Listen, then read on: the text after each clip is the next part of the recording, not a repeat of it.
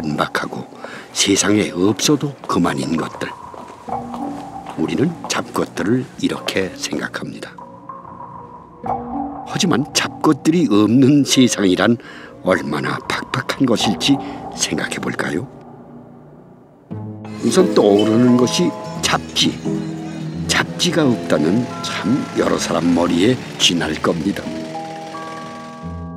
백 번 봐도 뭔 소린지 모를 어려운 책만 있다면 학자들이야 그럭저럭 견딜만 하겠지만 보통 사람들은 뭘 읽어야 할까요? 잡화가 없다면 공간이 얼마나 허전하고 삭막할까요? 잡념이 없다면 해탈은 있을까요? 잡념은 해탈의 씨앗이라 했으니 잡념이 없으면 해탈도 없게 됩니다. 잡된 것, 잡스러운 것이 필요한 이유들입니다. 우리는 지금부터 그 누구로부터도 따뜻한 눈길 한 번 받지 못하지만 그래도 굳굳이 자라고 있는 잡초 그리고 잡초를 닮은 한 인물에 대한 얘기를 할 겁니다.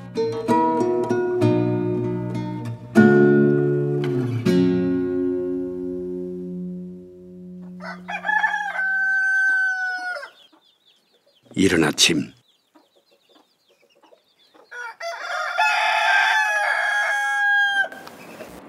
농부의 마음이 급합니다. 농부가 논만 일 나가는 거야 하나도 새로울 것이 없는 일이죠. 논밭이 발이 달려 어디로 도망가는 것도 아닌데 서두른 기색이 역력합니다.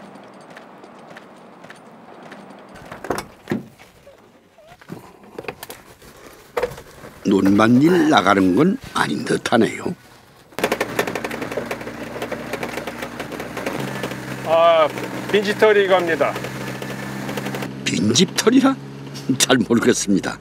조금 더 지켜봐야겠네요.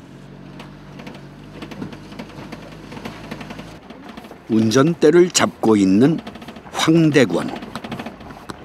그는 부모님이 주신 황대권이라는 이름보다는 잡초 때문에 우리에게 더 잘 알려져 있습니다. 그가 쓴 몇 권의 유명한 책들 때문이기도 하지만 60년 살아온 삶이 잡초의 길을 닮았고 지금 살아가고 있는 방법도 잡초에게서 얻어들인 것이니 궁합치고는 참 잘 맞는 궁합입니다. 자, 한번 털어볼까나? 쇠락해가는 빈집. 야, 여기는 아주 별천지네, 별천지. 네, 오늘의 목적지입니다. 같은 거. 그? 주인이 떠난 지가 얼마나 오래됐는지 집은 주저앉기 일보 직전입니다. 요거, 요거 큰 거.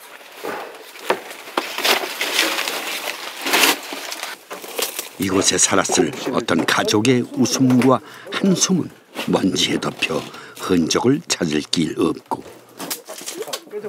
아마 도시로 이사를 가게 됐을 모양입니다. 그래서 함께 데려가기엔 너무 낡고 촌스럽고 짐스러워 가재 도구들은 남겨두고 떠나야 했겠죠.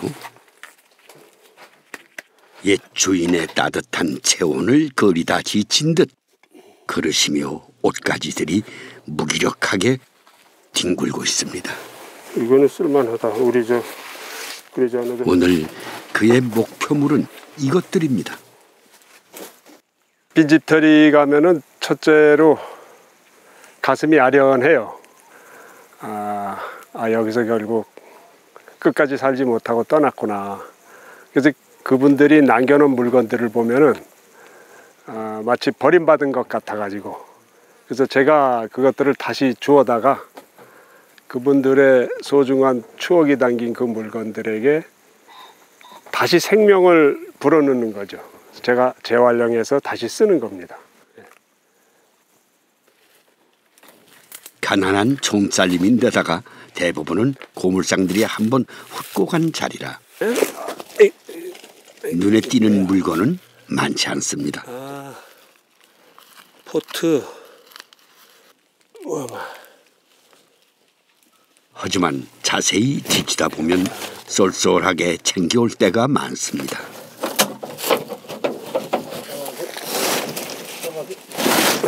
이거 내리면은 지붕이 무너지는 거 아닌지가 모르겠네.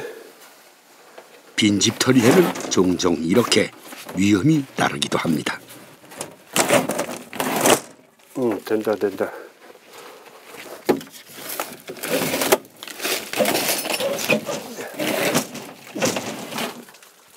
됐어. 병아리들, 강아지들, 그리고 강아지 같은 아이들이 뛰놀았을 마당.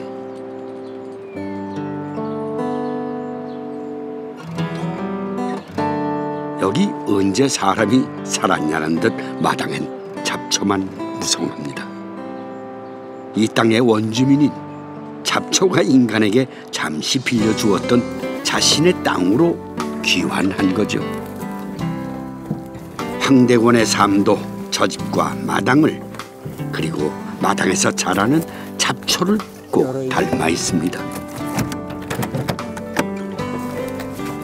젊었을 적 그는 우리나라 에리트들이 걷는 주류의 길에서 한치도 벗어나지 않았습니다.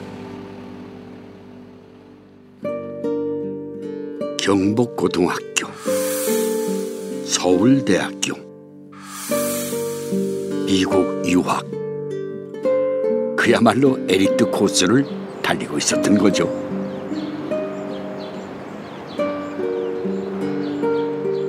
그런데 너무도 갑작스럽고 너무도 허망하게 그 탄탄하던 길이 끊겨버렸습니다. 절망은 그의 나이 서른에 찾아왔습니다. 1985년 소위 구미 유학생 간첩단 사건은 그를 천길 나락으로 밀어버렸습니다.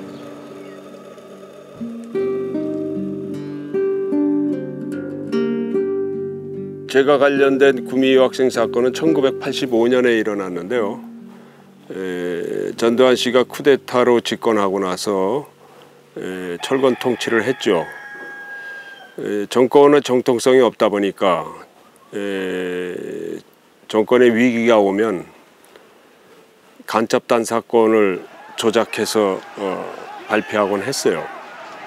그래서 그때의 에, 미국 유학생 중심으로 어, 한 15명을 구속해서는 에, 구미 유학생 간첩단 사건이라는 것을 신문에 발표했습니다. 에, 저를 포함해서 어, 4명이 사형과 무기징역을 받았고 어, 혐의 내용은 이제 유학생들이 어, 남한의 정보를 빼다가 북한한테 넘겨줬다. 한마디로 간첩행위를 했다 이런 거죠. 예. 그는 무기징역에서 감형을 받아 무려 13년 하고도 두 달이 지나서야 징역살이를 벗어날 수 있었습니다. 감옥에 갇히고 한 5년 동안은 미친 듯이 저항했습니다. 너무 억울했죠. 죄도 없이 갇혀서 언제 나갈 수 있을지 알 수도 없고 그렇게 하다 보니 훌쩍 5년이 지나가더라고요. 문제는 그렇게 분노하고 절망하다 보니 그것들이 몸을 갉아먹기 시작했어요. 정신적으로, 육체적으로 다 망가졌죠. 절망의 나락에서 허우적거리던 그를 구해준 것은 잡초였습니다. 감옥 안에서는 뭐 약국을 갈 수도 없고 의사를 접할 수도 없어가지고 내 몸은 내가 고쳐야겠다고 생각하고 한의학 공부를 시작했어요. 근데 그 한방 약초들을 들여다보니까 이것들이 다 자연 상태에서 자라는 야생초, 잡초들이더라고요. 그래서 제가 한방약은 구할 수 없어도 에, 이 길가에 아무데나 피어나는 잡초들은 길러서 먹을 수 있겠다 생각하고 에, 풀을 기르기 시작했습니다. 잡초 덕분에 건강을 되찾았습니다. 도저히 뿌리 내릴 수 없는 곳 같은 데서도 기어이 생명을 튀어내고야 마는 잡초. 잡초들의 그 끈질긴 의지가 병든 몸으로 옮겨와 병을 몰아낸 것들이었겠죠. 그때부터 그는 잡초의 놀라운 생명력, 그 비밀을 찾아 나섰습니다. 잡초를 한자로 풀면 잡스러운 풀입니다. 학술적으로는 원치 않는 장소에 난 모든 풀들 또는 잘못된 자리에 난 잘못된 풀이랍니다. 이 얼마나 인간 중심적인 표현인가요? 자기에게 조금이라도 이익이 되면 좋은 풀이고 그렇지 않으면 그냥 잡스러운 풀이 돼버리는 거죠.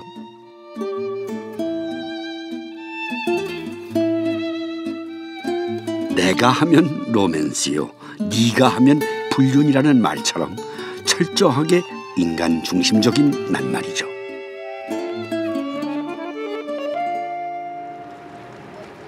그래서 잡초라는 말에는 상대방의 입장을 손톱만큼도 생각해 주지 않는 이기심과 편협함이 가득합니다.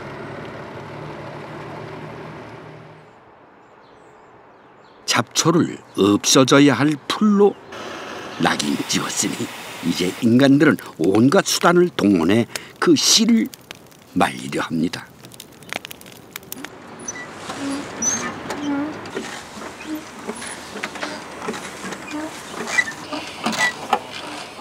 이렇게 끝나고 마는 걸까요?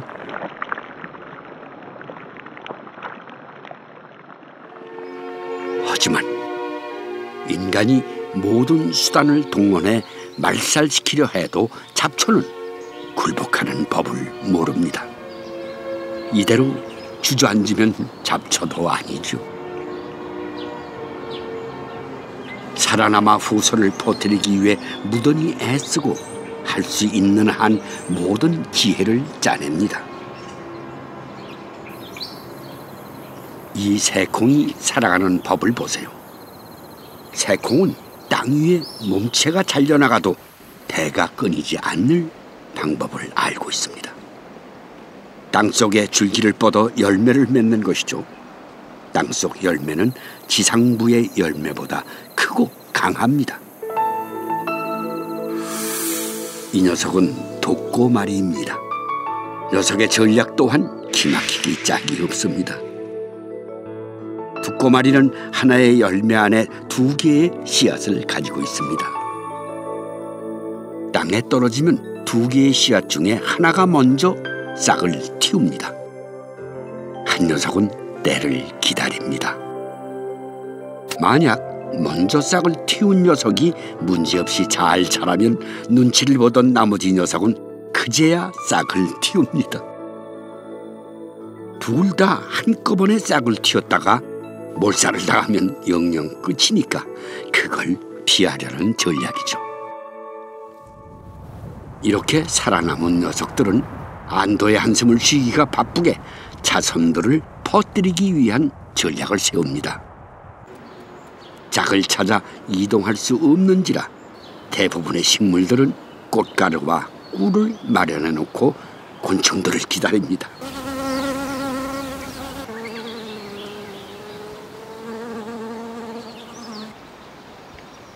잡초는 대부분 꽃이 작습니다. 때문에 꽃가루를 전해줄 곤충의 눈을 사로잡을 전략을 세워야 합니다. 작디 작은 꽃들을 모아 크게 보이도록 하는 서양 민들레.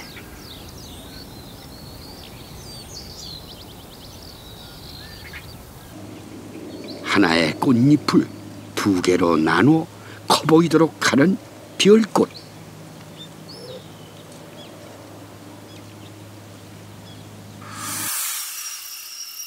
꽃잎을 실처럼 가늘게 만들어 부풀리는 하늘다리 같은 녀석들이 그런 전략을 씁니다. 이동은 해야겠지. 다리는 없지. 그래도 큰 걱정은 없습니다. 다른 전략이 있기 때문이죠.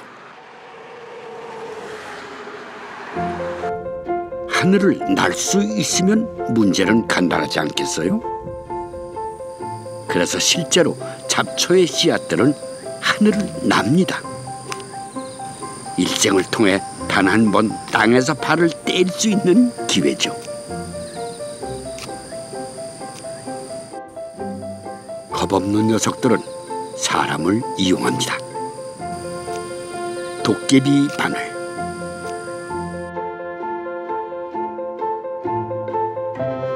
큰 독고마리 털 진득찰 같은 녀석들이 고안한 방법이죠.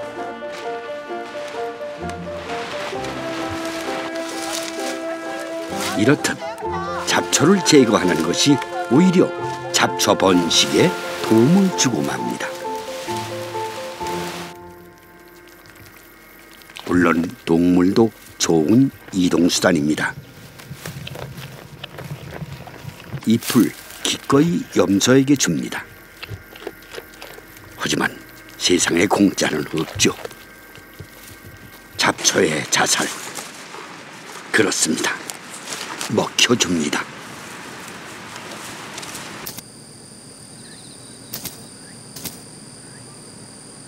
하지만 씨앗은 소화가 되지 않죠. 씨앗은 오히려 소화액을 이용합니다.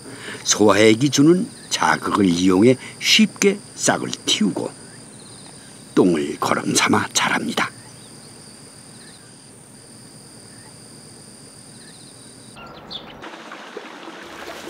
철새의 뱃속을 이용해 국경을 넘어 자신의 영역을 넓히기도 합니다.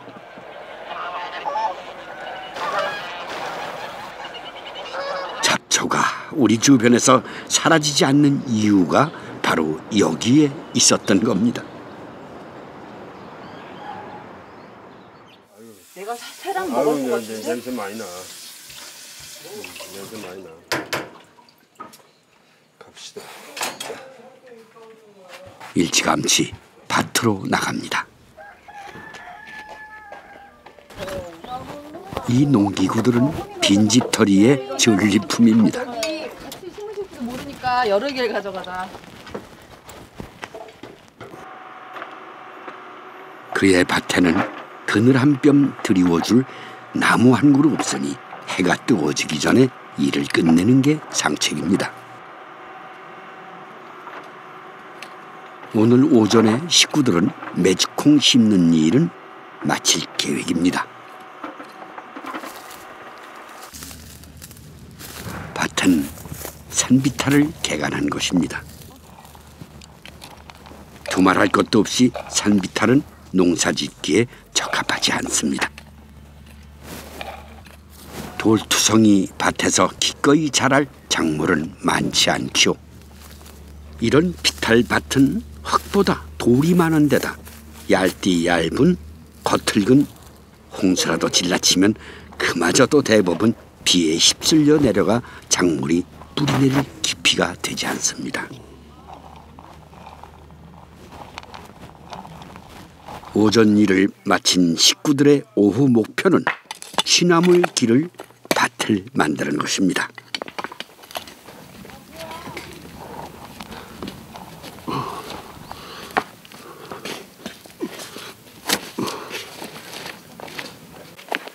꼼짝하네 이거. 밭 일굴 엄두가 안 나. 오랫동안 미뤄두던 일인데 오늘은 끝낼 예정입니다. 처음에는 장난 삼아서 아 우리 농장은 돌반 흙반이야 이랬는데 지금은 말을 고쳤습니다. 돌 사이에 흙이 껴 있는 형세라고. 우리 감자 캐는 것 같아. 이런 척박한 땅에서는 정말 억센 녀석들 아니고서는 버티기 어렵습니다. 가시 산딸기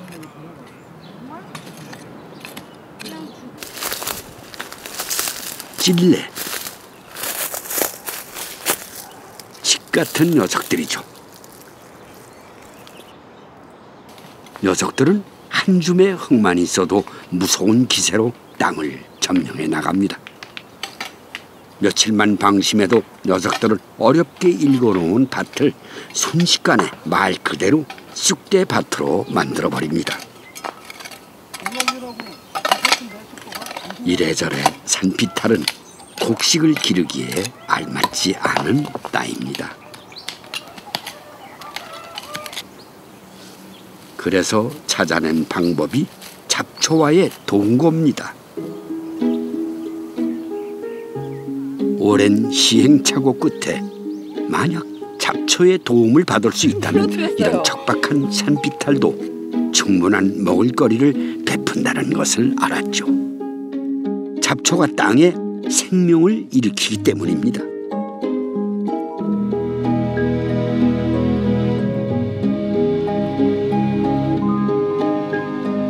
먼저 잡초는 강력한 뿌리로 다져진 흙을 파고들면서 흙의 숨통을 틔워줍니다. 뿌리를 통해 땅속의 공기를 날라다주고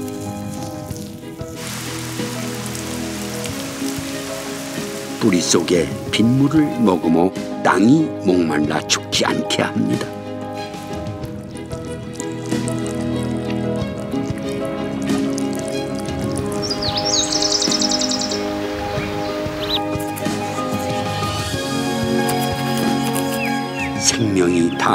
후에는 유기물을 남겨 흙을 비옥하게 하고 묻 생명들을 불러들입니다.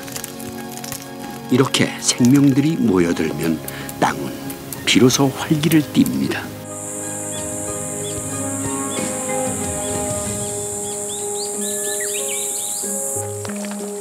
지렁이의 똥은 그대로 영양분 덩어리입니다. 식물들의 밥이죠.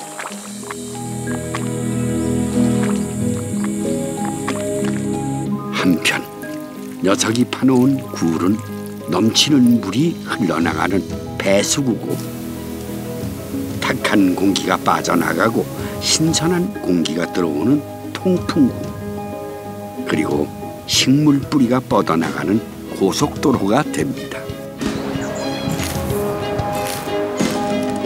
두더지도 땅강아지도 제 역할을 충실히 수행합니다.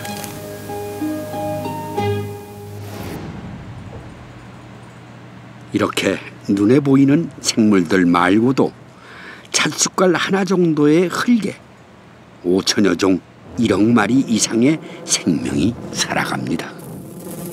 그리고 이런 미생물들은 낙엽이나 동물의 사체 같은 유기물을 분해합니다. 한때 생명이 붙어 있던 모든 것들은 미생물들을 만나면 가장 단순한 원소로 돌아갑니다. 녀석들이 유기물을 이렇게 잘게 부셔줘야 식물들은 비로소 그것들을 먹을 수 있습니다.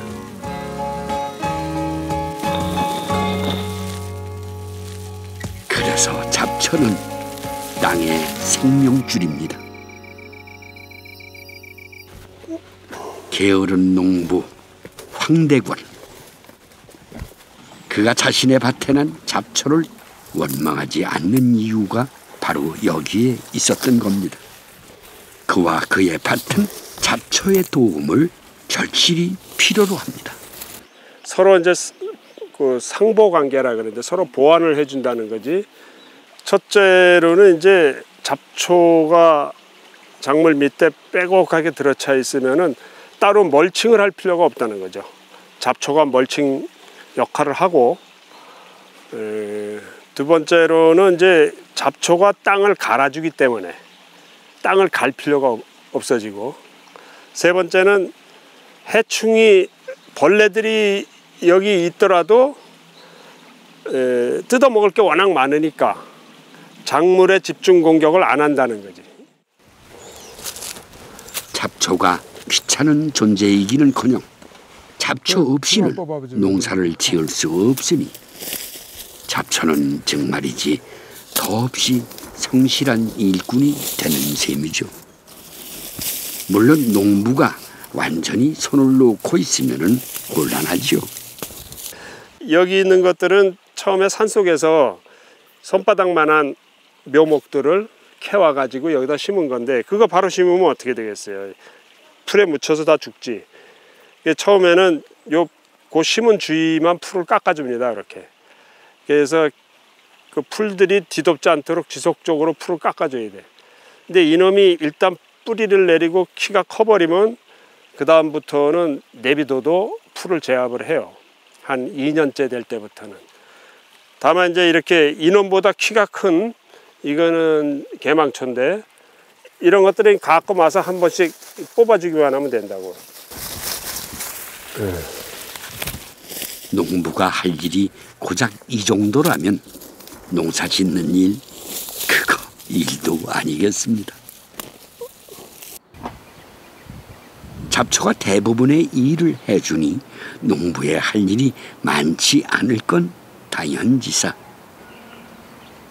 제 계절 제가 알아 때 되면 어김없이 나와 일하고 꾀를 부리지도 않고 열심히 일했으니 품삯 달라고 조르지도 않는 잡초.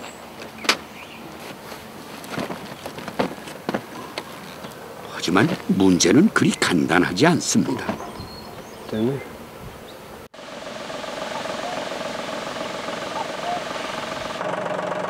화학 비료 안 쓰고 살충제도 안 쓰고 해서는 많은 인구를 먹여 살릴 만한 소출을 기대할 수 없습니다. 그리고 앞서 그가 말한 것처럼 억세고 공격적인 풀은 뽑거나 갈아엎어서 제거해야 하는데 지금 농촌에는 그런 힘을 쓸 만한 젊은이들이 남아있지 않습니다.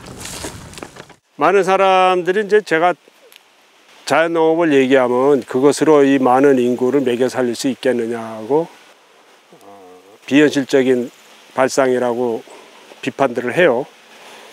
대부분 사람들이 농사를 안 짓기 때문에 그 사람들을 먹여 살리기 위해서 관행농법이라는 게 지금 음, 실천되고 있는 건데 이 관행농법이라는 건 거대한 면적의 모든 다른 생물 정도를 철저하게 제거하고 한 가지 작물만 집중적으로 케이, 그 재배하기 때문에 말할 수 없는 에, 그 자연 환경 파괴를 일으키거든요. 간행농법에 의해서 그 도시에 사는 대부분의 사람들이 아주 편하게 식량을 받아 먹는데 그 편리함의 대가가 기후 변화라든지 환경 파괴로 나타났다는 거죠. 어? 그래서 저는 앞으로 어, 더 이상 지구가 견뎌낼 수 없기 때문에 이 농법을 계속하는 것은 자멸의 길이다.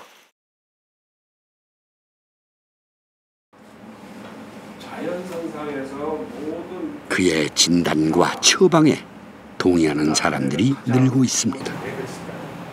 숨쉬고 먹고 마시는 것, 이 너무도 기본적인 것들조차 안심하고 누릴 수 없는 불안한 시대.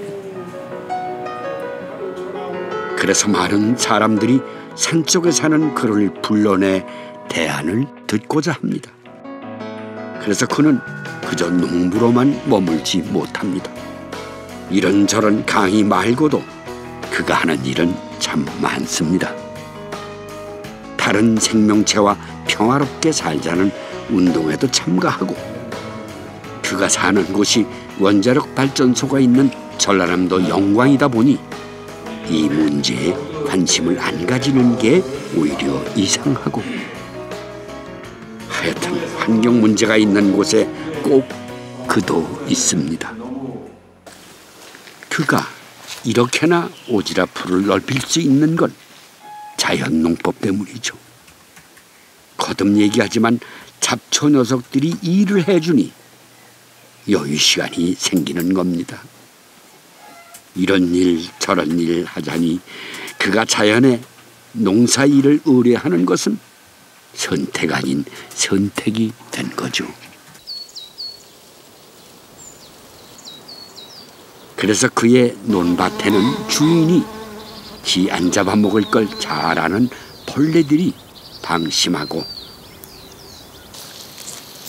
먹다 배부르면 말겠지 하고 생각하는 농부는 너그럽고 무심합니다. 해충과의 싸움은 승자도 패자도 없다는 걸 알기 때문에 둘은 적당한 선에서 타협하는 겁니다. 그러다 보니 이렇게 자연을 믿고 자연에 맡겨 농사를 짓는 땅에는 먹고 살기 위해 먹으려는 자와 먹고 살기 위해 지키려는 자들 간의 치열한 전쟁은 없습니다. 그래서 그의 땅은 생명들의 낙원입니다.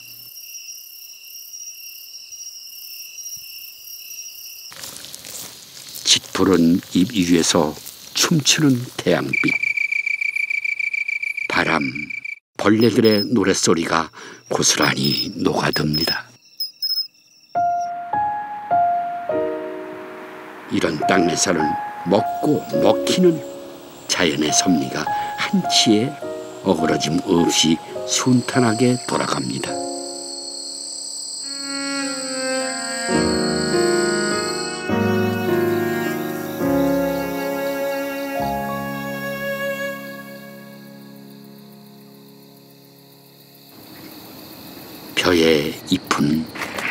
메뚜기에게 먹히고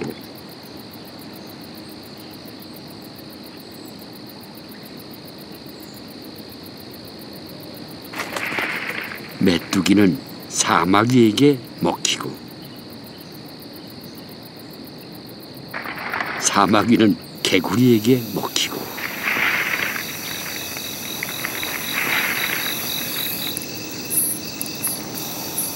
개구리는 뱀에게 먹히고 이 사슬은 너무도 정확하고 정교해서 먹고 먹히는 것들 중에 하나만 사라져도 여지없이 끊어지고 맙니다. 함께 살아간다는 것은 서로가 있을 자리를 인정해 주는 것일 테죠. 생명 평화 마을. 이 마을의 주민은 합해야 여섯 명뿐입니다. 전직 유치원 교사, 환경운동가, 학생 등이죠.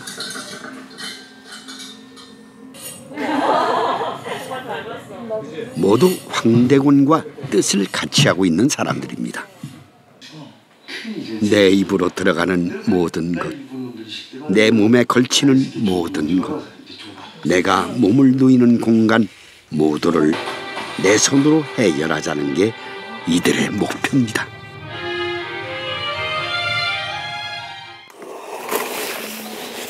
이튿날 아침 일을 마친 황대권이 가방을 챙겨 길을 나섭니다. 자기를 따라와 보면 내 입으로 들어가는 것을 내 손으로 해결하는 것이 어느 정도는 가능하다는 것을 보여주겠답니다. 그는 지금 점심 찬거리를 마련하는 중입니다. 질갱이가 좀 말 그대로 찔겨가지고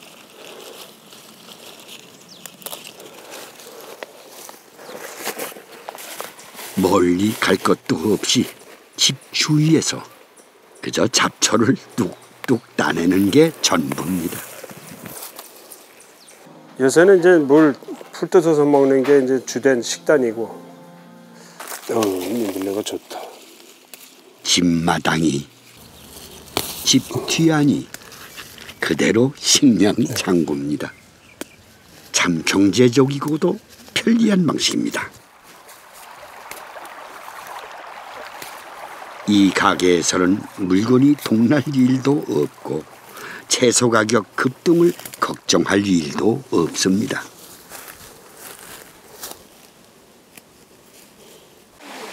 물론 풀만 먹다 보면 비린내가 그리울 수도 있겠습니다. 우리 몸은 단백질을 원하니까요. 해결 방법은 아주 가까운 곳에 있습니다.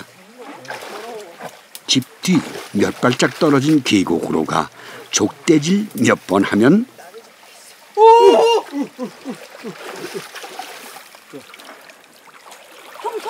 필요는 충족됩니다. 모든 게 참. 간단합니다. 아, 따온 잡초들은 헹굴 것도 없이 한 줌 끓는 물에 집어넣고 데치고 조물조물 양념 조금 하면 끝입니다. 잘 먹겠습니다. 잘 먹겠습니다. 이래서 이 밥상에서는. 자본주의 냄새가 거의 나지 않습니다.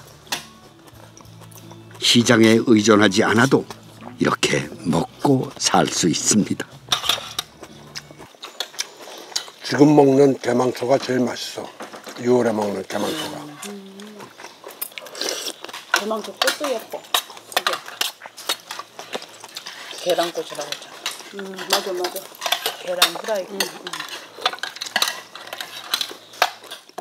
물론 밥을 끓이는데 필요한 전기, 나무를 데치는 데 쓰는 가스. 그리고 식판과 수저는 외부에서 온 것들이죠. 야, 그건 유머도 아니지. 이름 불렀는데 무슨 유머냐. 나머지는 모두 몇 발짝 떨어진 밭이며 산이 베풀어진 것들이죠. 여기 이거 아까 뜯으신 나물이고 상추, 오가피, 김치, 돼지 감자 다 저희가 기른 것도 있고 얻은 것도 있고. 근데 물론 이런 조기나 두부 같은 건 저희가 직접 해 먹을 순 없지만 뭐 먹을 생각하지 않으면 이렇게 먹고도 충분히 살 수가 있어요. 그리고 뭐 먹는 것도 맛있게 먹을 수 있지만 뭘 따야지 이렇게 궁리하는 것부터 따는 거, 다듬는 거, 요리하는 거, 재활용하는 거까지 그 과정 자체가 온전히 먹는 과정인 것 같아요. 처음부터 쉬운 일은 아니었습니다. 하지만 이들은 뜻을 같이 하고 생활 공간을 같이 하면서 서로가 서로에게 의지처가 돼 주었습니다.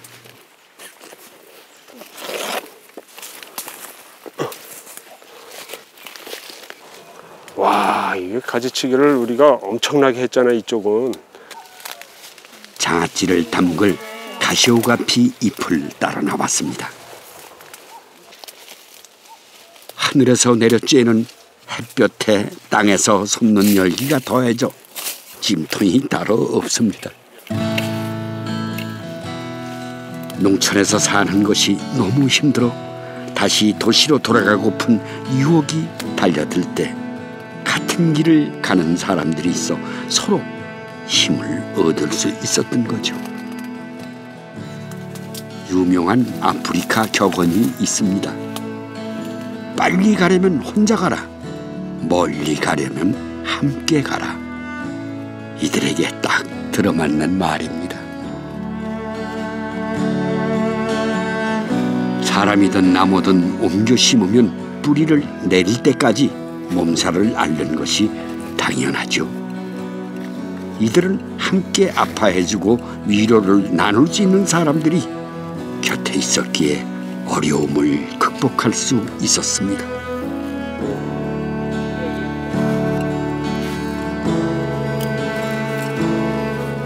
한 포기의 잡초가 땅을 바꿀 수는 없지만 무더기로 모여 있으면 사정이 달라지는 것과 같은 이치죠.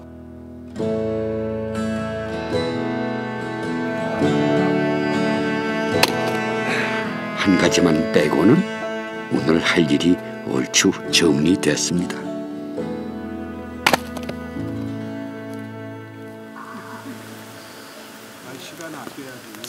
하루 일을 마친 공동체 식구들이 모닥불 앞에 모였습니다. 매주 월요일 이 시간에 공동체 회의를 합니다. 이번 주에 함께 해야 할 일들, 일할 순서와 담당자들을 정하는 거죠. 공동체의 가장 중요한 행사 중 하나입니다. 하지만 이 자리는 업무적인 얘기가 끝나면 끝나는 그런 딱딱한 자리가 아닙니다. 이들은 이제 각각 침묵 속으로 빠져듭니다. 생명 평화에 대해 생각하는 시간입니다. 이들은 이걸 모닥불 영상이라고 부르죠. 들어가는 모닥불을 보며 생명에 대해 삼남한상에 대해 생각해 보는 겁니다. 생명의 기쁨을 마음껏 노래하다 날카로운 톱날에 베어지고 그 단단하던 몸체가 이렇게 저항 한 번 못하고 타올라 끝내 몇 쯤에 제로 돌아가는 모습 세상의 모든 존재가 걸어가는 길이 이렇다는 것을 보여줍니다. 연기는 연기대로, 재는 제대로 제 갈 길을 찾아가 제 할 일을 하겠죠. 생명을 살리는 그 길, 그 일 말입니다. 목숨 붙은 것이든 죽은 것이든 우리 모두는 이 순환 속에 있음을 확인합니다. 지금까지 잡초가 개인 황대곤을 살렸다면 이제부터 잡초는 이 세계를 구할 것입니다. 무궁무진한 잡초의 세계를 이해하고 잡초와 공생하는 것에 우리 문명의 미래가 달려 있습니다.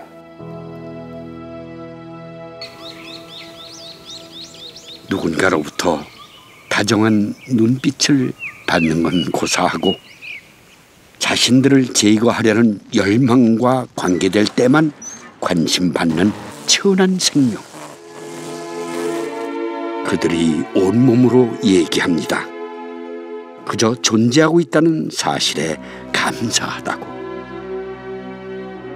그리고 인간뿐 아니라 다른 모든 생명들도 존재할 권리, 생명의 기쁨을 누릴 권리를 가지고 있다고. 잡초들이 그리고 황대곤이 우리에게 마지막으로 던진 질문은 이것이었습니다. 이 세상에 불필요한 생명이 있을까요?